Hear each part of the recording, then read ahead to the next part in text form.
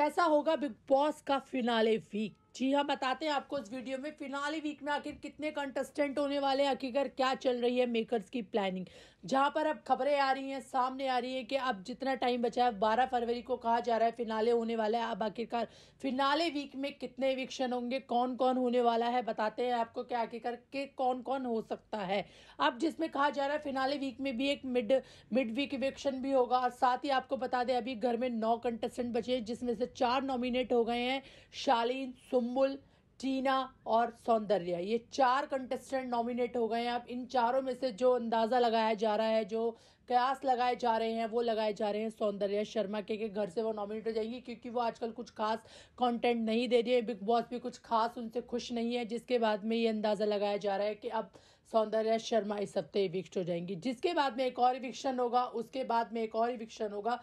यानी कि अब आपको बता दें फिनाले वीक में टॉप छः कंटेस्टेंट आपको देखने को मिलने वाले फ़िलहाल वीक में आपको छः कंटेस्टेंट देखने को मिलेंगे, जिसमें से तीन कंटेस्टेंट निकलेंगे जर्नी दिखा के निकलेंगे। अब टॉप थ्री में कौन नज़र आएगा, कौन आपको वहाँ पे स्टेज पे खड़ा आएगा, ये देखना इंटरेस्टिंग होगा कि आखिरकार कौन टॉप छः में होगा। हम बात करें तो टॉप छः में आपको एम सी स्टैन देखने को मिल सकते हैं, शिव ठाकरे देखने को मिल सकते हैं, प्रियंका चहर, चौधरी, साथ ही शालीन, टीना और या निमृत। कहा जा रहा है कि निमृत को टिकट टू फिनाले, निमृत को घर का कैप्टन बना दिया गया है, जिसके बाद में बिग बॉस ने बोला है, जो इस हफ़्ते कैप्टन बनेगा, वो सीधे फिनाले वीक में चला जाएगा। तो कहा जा रहा है कि निमृत जो है फिनाले में हो गई है। तो साथ ही आपको बता दें, बड़ी टक्कर होने वाली है।